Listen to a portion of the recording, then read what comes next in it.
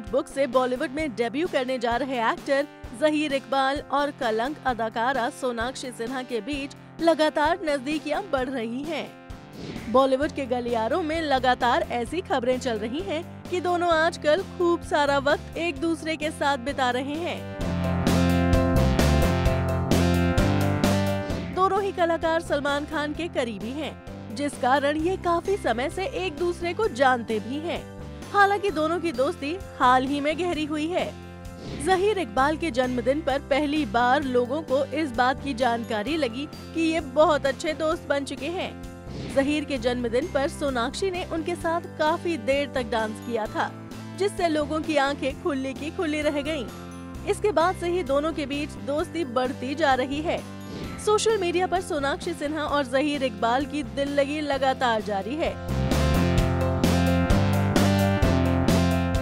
ही में जहीर इकबाल ने सोनाक्षी सिन्हा को जन्मदिन की बधाई देते हुए लिखा था, सोनाक्षी जयंती सबको मुबारक हो।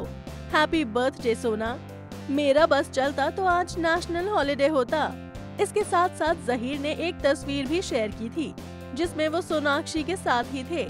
अगर सोनाक्षी सिन्हा की प्रोफेशनल लाइफ की बात की जाए तो वो जल्द ही करण जौहर की आने वाली फ़िल्म कलंक में नज़र आएँगी।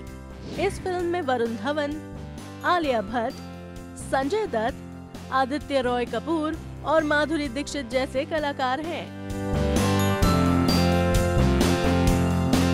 अभी वीडियो को लाइक करें, शेयर करें और अभी चैनल को सब्सक्राइब करें। इसी तरह की चटपटी न्यूज़ देखने के लिए फिर मिलेंगे मसालेदार खबरों के साथ। Bye bye.